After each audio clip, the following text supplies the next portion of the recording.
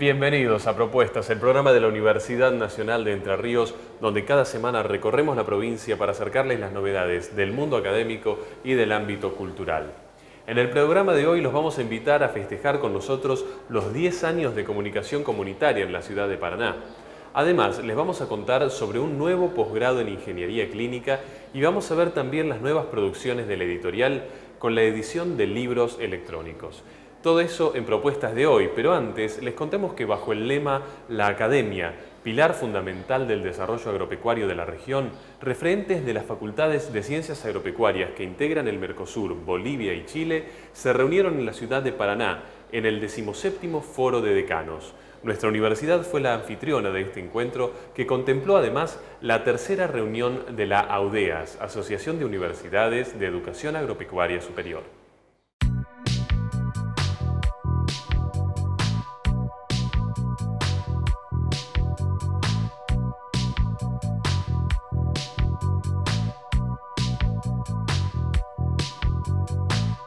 Organizados por la Facultad de Ciencias Agropecuarias de nuestra universidad, se realizaron el 17 Foro de Decanos de Facultades de Agronomía del Mercosur, Bolivia y Chile, y la tercera reunión de AUDEAS.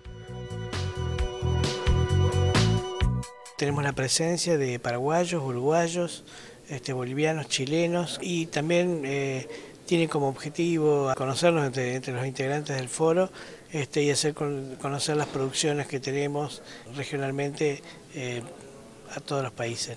El Foro Decano funciona como asesor del CAS. El CAS es el Consejo Agropecuario del Sur, que está integrado por todos los ministros de Agricultura de los países que integran el Mercosur. Generalmente estos, eh, los ministros requieren del foro asesoramiento en temas puntuales y, el foro también genera este, líneas que propone a los ministros de Agricultura de los países. Es importante expresar de que a través de estos encuentros eh, fortalecemos los vínculos, los lazos entre cada una de nuestras unidades académicas y surgen ideas de trabajo conjunto en el tema de formación, no solamente a nivel de grado, sino también de formación de recursos humanos a nivel de posgrado y sobre todo también la manera en que podamos acompañar las necesidades de nuestros diferentes ministerios de agricultura que conforman el Mercosur. En Pucón, en Chile, donde se definieron dos temas fundamentales.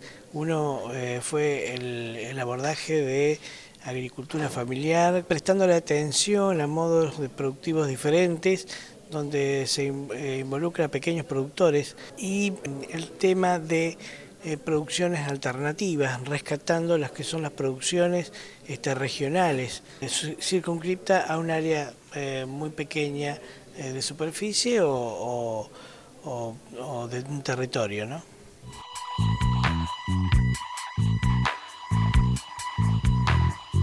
Realmente muy contentos con cómo se están desarrollando las cosas de acuerdo a lo previsto. AUDEAS es el organismo nacional que nuclea todas las facultades de agronomía del país y tiene sus eh, instituciones de la misma jerarquía que en los países del Mercosur. En este caso, eh, AUDEAS tiene tres o cuatro reuniones en el año, esta sería la tercera reunión que se hace en el 2014. Tenemos por objetivo eh, tratar temas relacionados a nuestras necesidades académicas, de vinculación, de transferencia, de investigación y relacionamiento con otras instituciones del medio. Eh, anualmente hacemos tres reuniones plenarias y eh, en ellas fijamos pautas y posiciones para fundamentalmente fortalecer nuestras actividades de docencia, como te decía, y no dejamos de ver también otras vinculaciones que tenemos con ministerios de educación, Ministerio de Agricultura y en este caso estamos insertos en el foro de decanos de Mercosur ampliado con Chile y Bolivia, que son más de 70 facultades de universidades de, este sector del mundo, ¿no es cierto?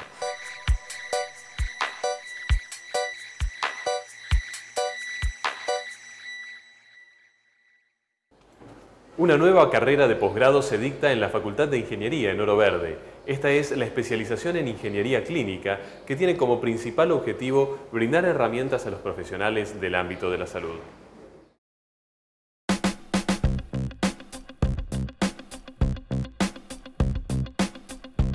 les queremos comentar en qué consiste esta carrera de posgrado. Esta es una carrera que está pensada específicamente para brindar herramientas a los profesionales que se desenvuelven en el ámbito clínico hospitalario. Está pensada y está dirigida a ingenieros biomédicos y bioingenieros, pero también eh, consideramos aceptar como postulantes ingenieros de otras ramas eh, previamente se hace un análisis de, los contenidos de su carrera de grado y es posible que tenga que tomar algún curso extra para nivelar los conocimientos que se requieren para el cursado de la carrera. La inquietud surgió porque realmente eh, la cantidad de tecnología que se incorpora al hospital, digamos, a la estructura sanitaria es, es muy importante, es cada vez más importante y eh, es crítico hacer una, buena gestión de esa tecnología. En el 2007 la, OMS, la Organización Mundial de la Salud, em, estableció que la dilapidación en, en tecnología médica era importante no solo acá, sino en todo el mundo, porque no se hacía un adecuado análisis de la adquisición, el tipo de tecnología, el uso que se le iba a dar. Entonces considero que era crítico tener y formar profesionales que puedan trabajar en esa área para reducir los costos asociados a la tecnología y aprovechar mejor los recursos de la salud.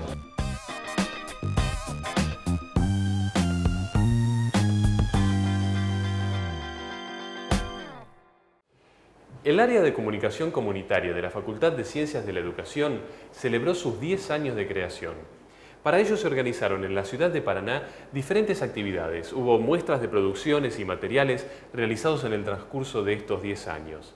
También se compartieron imágenes de los talleres de fotografía implementados en las unidades penales de Paraná y se reflejaron los proyectos de extensión y de voluntariado en la línea de comunicación comunitaria en la cárcel.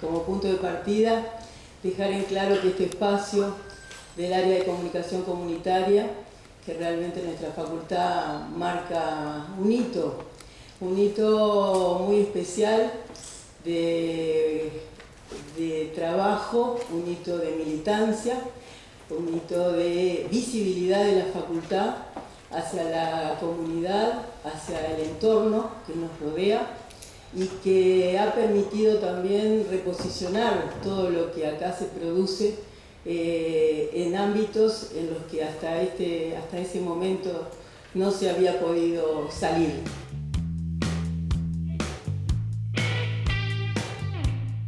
Y, y en función del equipo que estoy coordinando, que estoy conduciendo y que tiene la tarea de gobernar esta ciudad, tenemos muchísima expectativa, la hemos tenido siempre, no es que este, surge ahora de casualidad, sino que la hemos tenido siempre en relación a la universidad en general y en particular a esta, a esta facultad.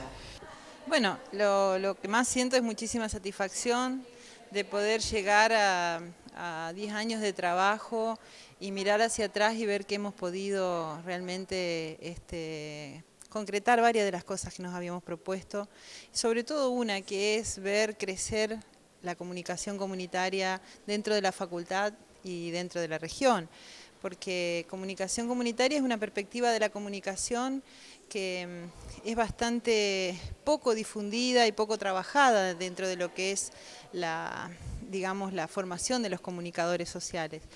Y nosotros estamos convencidos de que eh, es una manera de mm, contribuir a fortalecer los lazos sociales, porque trabajamos justamente para que el ciudadano común se apodere, se agencie, se apropie de su propia capacidad de comunicación. Nosotros pensamos que un modelo de comunicación comunitaria es afín a un modelo también de universidad donde este, todos los saberes son válidos, cada uno tiene una validez distinta, pero de lo que se trata justamente es de apropiarse de esos saberes, de poder expresarlos a través de herramientas de comunicación como las que nosotros trabajamos con la gente.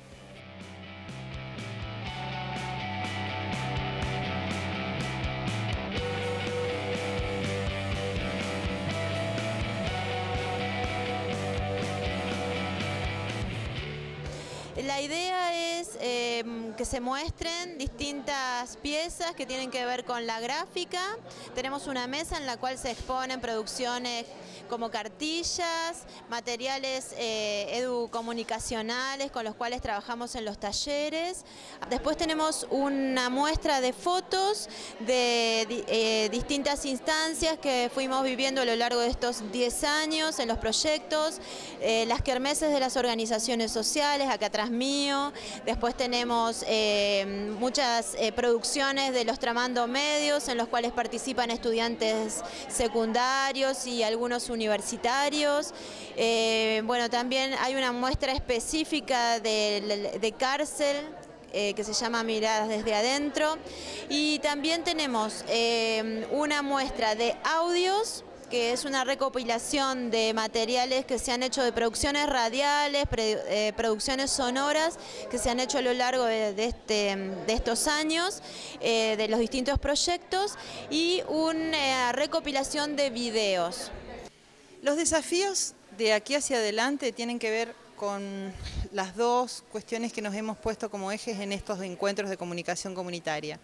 Una tiene que ver con fortalecer una red asociativa con otras universidades nacionales que también están interesadas en desarrollar el ámbito de la comunicación comunitaria para que bueno, para que este enfoque de la comunicación este campo de la comunicación tenga un lugar cada vez más importante dentro de lo que es la formación de los comunicadores sociales y lo que es en general el campo académico de la comunicación. Ese es uno. El otro tiene que ver con seguir trabajando dentro de la facultad. Eh, en la reforma del plan de estudios aspiramos a que los comunicadores que se están formando tengan materias que los formen también en comunicación comunitaria que podamos desarrollar y yo diría fortalecer el vínculo con las organizaciones de la sociedad, las instituciones de la sociedad, este, que es de donde nos nutrimos en definitiva, porque son a esos problemas a los que son esos problemas con los que nosotros trabajamos. ¿no?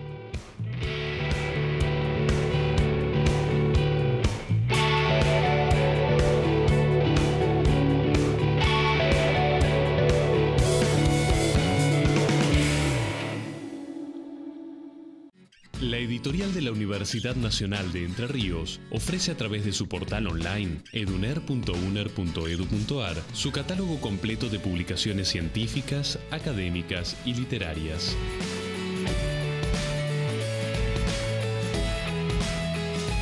Adquiera sus libros online de una manera rápida y segura, ahora también con tarjeta de crédito Visa. Eduner Editorial de la Universidad Nacional de Entre Ríos. Hablamos ahora de ebooks, libros electrónicos, una nueva etapa que Eduner nos presenta a través de ediciones multisoporte.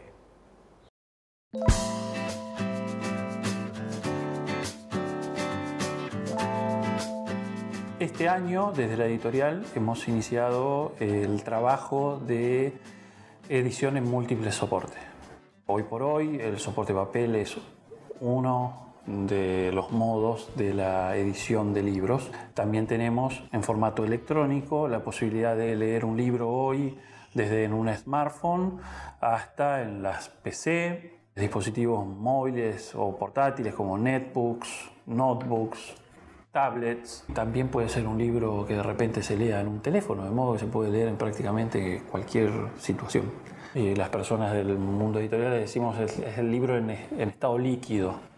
Tiene la particularidad, para que se entienda, de el texto acomodarse a la pantalla del usuario que lo está leyendo en su momento. No es rígido, sino que automáticamente los párrafos, las oraciones se ordenan en función del dispositivo desde el que se está leyendo. Para esta primera etapa de trabajo en el desarrollo de la edición electrónica en la universidad, eh, nos propusimos hacer un trabajo de retroconversión, es decir, que tomamos libros existentes en soporte papel para traducirlos a una versión digital. Para eso buscar de nuestro catálogo eh, libros con problemáticas diferentes, con estilos de texto, géneros diferentes, que nos permitieran hacer todos los ensayos posibles. Hemos trabajado con 10. La retroconversión es ni más ni menos que la conversión del libro en papel a su versión en formato electrónico como lo tengo acá en la tableta. En el libro electrónico varía el modo en el que se accede a las distintas partes del libro, la navegabilidad que tiene que tener para ir desde el índice a las distintas partes y también eh, la posibilidad de compartir eh, partes del texto con otros o remarcarlos o etc. Por ejemplo, les podría mostrar la conversión de este libro que se llama Radio con la música otra parte, que un libro que hemos, de hecho es un título eh, que hemos presentado hace unos días. tenemos una versión PDF interactiva. El libro electrónico tiene la posibilidad de muy sencillamente acceder a fuentes vinculadas. Si de repente el autor citó una página web, con un clic la página web se va a abrir y el lector pasa inmediatamente a leer la parte específica y a recuperar la lectura con otro clic. Si yo lo hubiese leído en el libro papel, tengo que ir al Google y buscar el texto.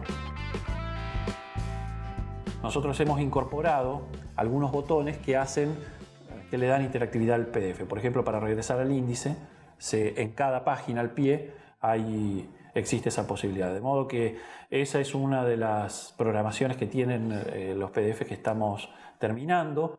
También puedo agrandar la tipografía, puedo achicarla y puedo hacer algo que en el libro soporte papel no, que es incorporar eh, audio, incorporar video, incorporar sin restricciones el color, lo que nosotros como editores pretendemos es lograr la mejor experiencia de lectura que pueda tener un lector. Queremos consolidar en, el aspecto productivo la posibilidad de la editorial de la Universidad Nacional de Entre Ríos de generar libros en los soportes actualmente disponibles. El modo de conseguir el libro va a ser virtual, en, un entorno virtual. La página de la editorial y las librerías virtuales van a ser el mecanismo a través del cual se pueda acceder. Yo creo que de a poco los lectores van a irse encontrando con estas modalidades, que a su vez no solo te permiten la descarga, sino ordenarlo como en una biblioteca virtual, así como en la biblioteca nuestra física vamos acomodando los libros de lomo. Esto nos permite ir poniendo en archivos que vayamos generando los libros que voy descargando y se ordenan así, ¿no es cierto? Nos hemos volcado a la producción de estos libros, los hemos estado mostrando en distintos dispositivos y dándoselo a personas para que prueben la lectura, eh, se encuentran con que es todo un universo, es, tan fácil compartir partes de un libro. Eh, yo puedo seleccionar un párrafo y enviarlo a tu smartphone.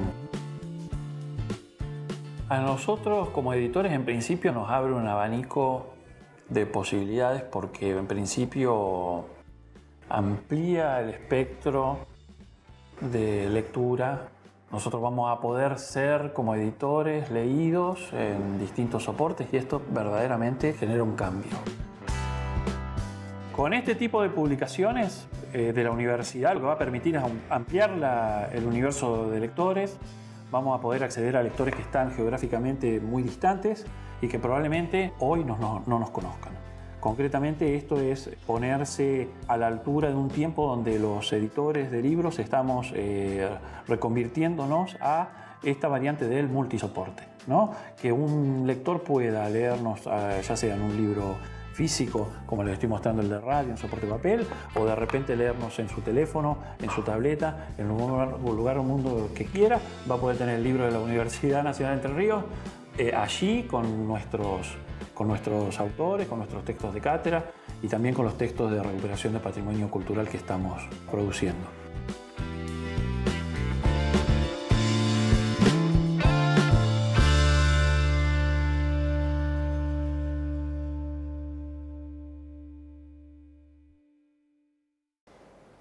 Durante las jornadas internacionales de educación organizadas por la Facultad de Ciencias de la Administración en Concordia, dialogamos con María Teresa Pozzoli, una educadora chilena que disertó sobre educación para el desarrollo sustentable y la formación integral del ser humano.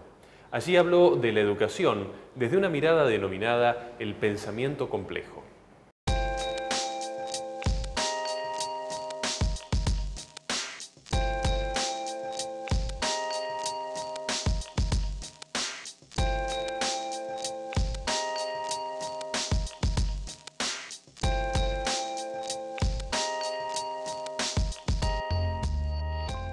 Sabemos que hay como una crisis educativa que es en realidad que es internacional. Uno tiende a pensar que lo que está ocurriendo de malo está ocurriendo de malo en el país en el cual uno vive. Pero yo vivo en Chile hace bastante tiempo y en realidad allí ha, ha habido, digamos, movimientos estudiantiles muy importantes que han puesto en el tapete problemáticas que los políticos trataban de no considerar, justamente porque los compromete.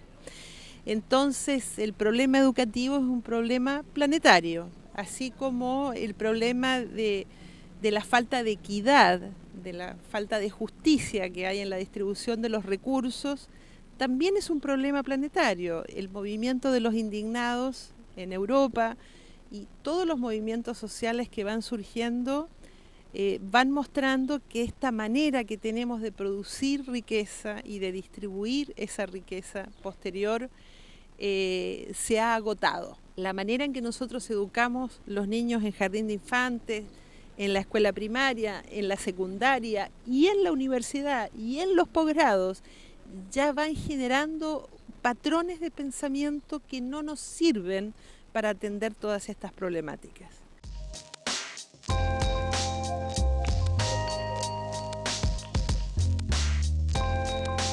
El problema está que las personas de las cuales depende el diseño académico de las mallas curriculares no asumen que es necesario hacer un cambio. Acá hay una decisión política que hay que tomar para hacer esa transformación.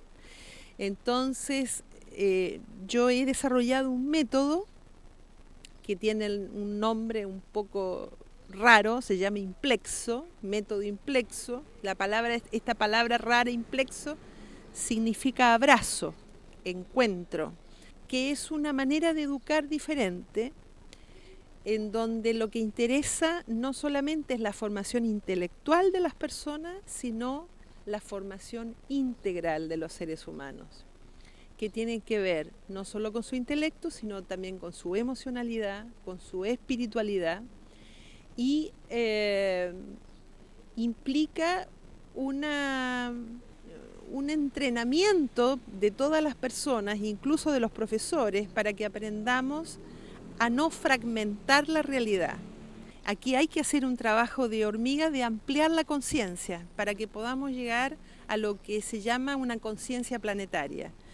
Para eso yo trabajo desde una mirada que se llama el pensamiento complejo y que fue difundido por un epistemólogo francés que se llama Morán. Entonces hay que empezar a multiplicar esta conciencia planetaria porque vamos hacia el colapso.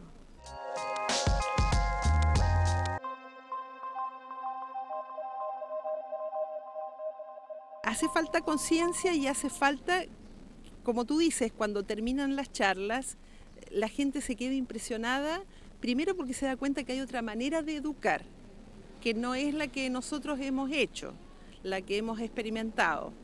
Por otro lado, genera temor, porque la gente prefiere mantener lo que tiene en vez de cambiarlo.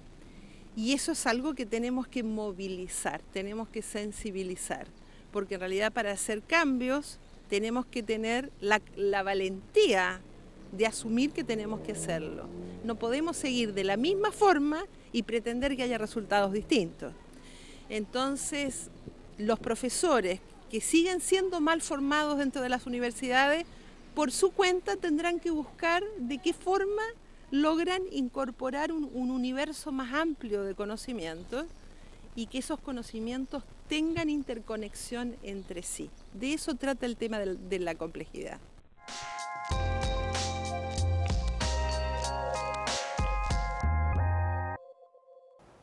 Y llegamos de esta manera al final de propuestas del día de hoy.